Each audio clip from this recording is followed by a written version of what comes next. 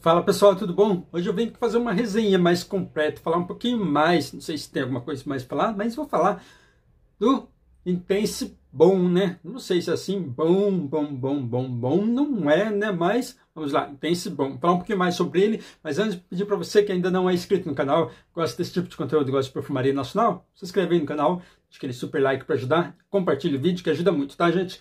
Bom, eu fiz o vídeo das primeiras impressões, vou deixar aqui nos cards aqui para quem quiser ver.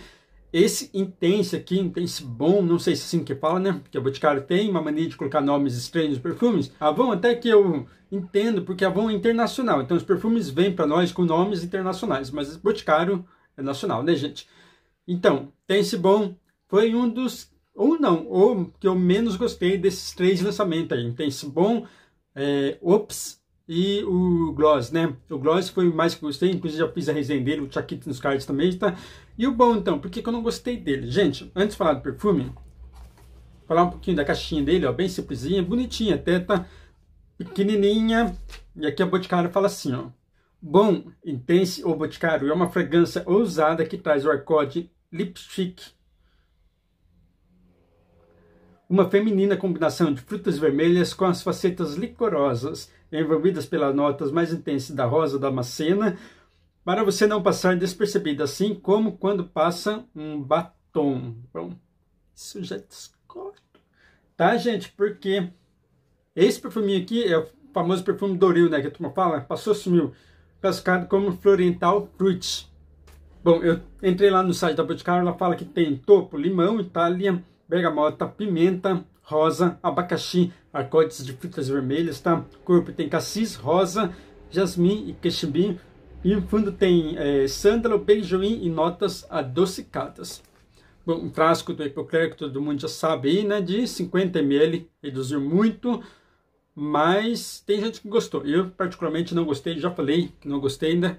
O frasco antigo mais bonito. Vamos experimentar então?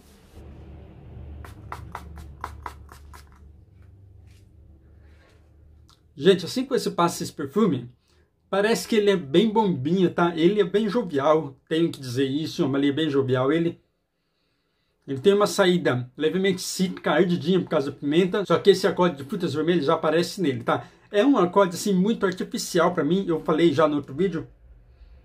Eu acho as frutas vermelhas dessa saída dele, dele muito artificial, não gostei das frutas vermelhas, tá? Não é aquelas frutas vermelhas envolventes, bem gostosas, bem licorosas é muito artificial. Não gostei da saída dele, certo? Porém, depois que passa essa saída, que ele fixa na pele já, o corpo dele, você sente um leve floral, tá? De rosa, jasmim, é um floral bem delicado, um floral gostoso, não é um floral, vamos dizer assim, tão adulto, tá? Ele continua bem, é, bem jovial, só que é bem tranquilo. E depois, no fundo, para mim, volta um pouquinho das frutas vermelhas, só que daí sim eu sinto aquela fruta vermelha mais cremosinha, mais docinha, mais gostosa, tá? Levemente adocicada, tá? Muito gostosa daí. Porém, esse perfume aqui você vai sentir praticamente só na saída dele. Ele exala bem na saída. Não tem projeção para mim. Não chega meia hora projetando esse perfume, não consigo sentir. E a fixação dele, duas horas na pele. Já era. Bom, é isso mesmo. Duas horas na pele esse perfume tá praticamente quase não existindo mais, você não sente mais nada depois de duas horas, tá? Ou seja, é uma aguinha de chuchu para mim, é sim, é muito fraco, gente, é muito fraco, não gostei disso.